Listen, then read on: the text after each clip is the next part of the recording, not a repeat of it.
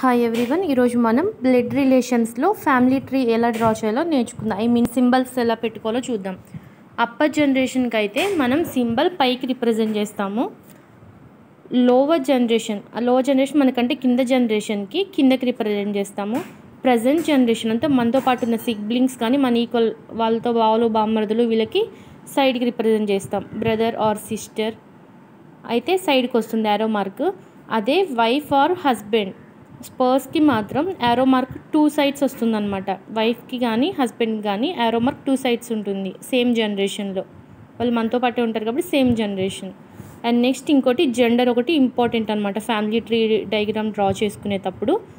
Plus ఉంటే ఫీమేల్కి minus ఉంటే మేల్కి. ఇఫ్ ఒక ఎగ్జాంపుల్ చెప్తాను. ఇప్పుడు ఏ అనే పర్సన్ బి అనే పర్సన్కి ఫాదర్ అనుకోండి. అప్పుడు ఆ ఫాదర్ అనే అతను అప్పర్ జనరేషన్లో ఉంటారు. బీకి.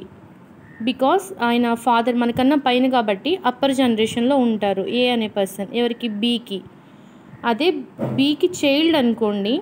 చైల్డ్ అయితే మనకన్నా కింద మన నెక్స్ట్ జనరేషన్ కాబట్టి కింద లోవర్ జనరేషన్లో ఉంటారు. అదే వైఫ్ అనుకోండి వైఫ్ కానీ హస్బెండ్ అయితే ప్రజెంట్ జనరేషన్ కాబట్టి మన పక్కనే ఉంటారు. And two sides arrow mark వస్తుంది. అదే బ్రదర్ అనుకోండి సేమ్ మన జనరేషన్లోనే ఉంటారు వన్ సైడ్ ఆరో మార్క్ వస్తుంది.